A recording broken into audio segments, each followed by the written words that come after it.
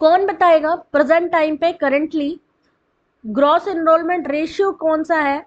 याद रखिए, ये आपसे पूछा जाएगा। हायर एजुकेशन के लिए भी पूछा जाएगा। प्राइमरी एजुकेशन के लिए भी पूछा जा सकता है।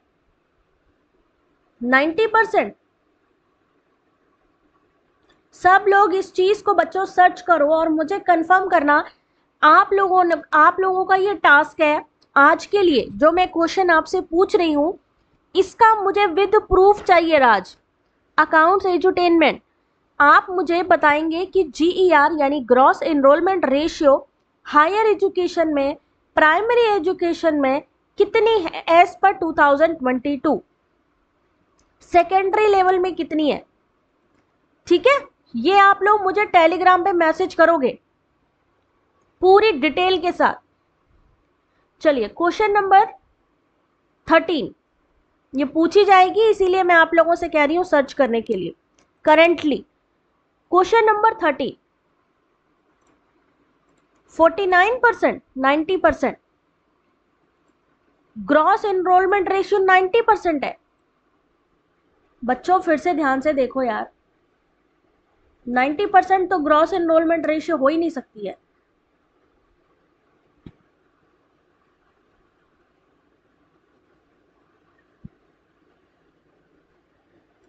चेक करके बताना सब लोग। ये क्वेश्चन को हाईलाइट करना था। अभी आशीष, मैं आपको टेलीग्राम पर ये दूँगी पीडीएफ, ठीक है?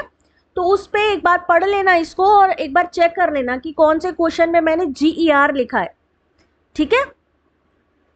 चलो, एक नेक्स्ट क्वेश्चन ऐसी असमर्थता जिसमें बौद्धिक क्रियात्मक यथा अनुकूलित व्यवहार। जैसा कि वह अवधारणात्मक, सामाजिक, प्रायोगिक अनुकूलन कौशल में परिलक्षित होता है, में महत्वपूर्ण परिसीमन देखा जाता है और वो क्या कहलाता है? Question number thirteen option number option number B बिल्कुल सही है, यानी बी सी और डी यानी intellectual disability option number C cognitive impairment option number D, general learning disability, बौद्धिक संज्ञानात्मक और सामान्य अधिगम असमर्थता। इस क्वेश्चन का सही आंसर है। नेक्स्ट क्वेश्चन देखिए। टाइम स्टार्ट हो रहा है अब। Question number fourteen.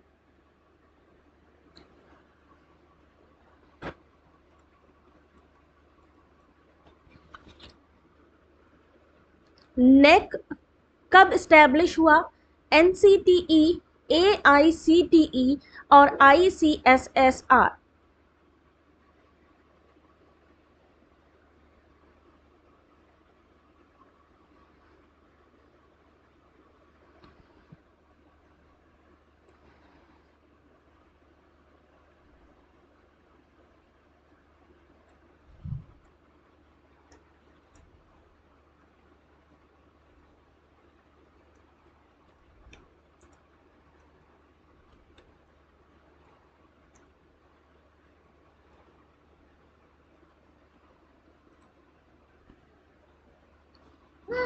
चलिए देखते हैं इस क्वेश्चन का सही आंसर ऑप्शन नंबर इस प्रश्न को एनटीए ने एवेल्युएशन से ही बाहर रखा है।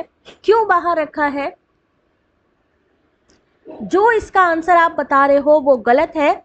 हाँ कविश बिल्कुल सही नेक रॉन्ग है, क्योंकि नेक की स्थापना 1994 में हुई थी। एनसीटीई की स्थापना 1995 में हुई थी। एआईसीटीई की स्थापना 1945 और आईसीएसएसआर की स्थापना 1969 में हुई थी। चक्ष बच्चे इसका कोई भी ऑप्शन सही नहीं है, क्योंकि इसका जो करेक्ट आंसर है, वो यहाँ पर आपके सामने एक्सप्लेनेशन में दिया हुआ है। नेक को रॉन्ग दिया हुआ इन्होंने। नेक का रॉन्ग है, उसके अलावा अगर हम बात करें 69 है 92 गलत दिया हुआ है। 1995 सही है 1987 गलत, दो ईयर इन्होंने गलत दिए ठीक है?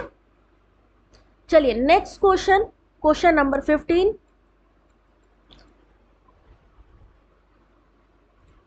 time start up national assessment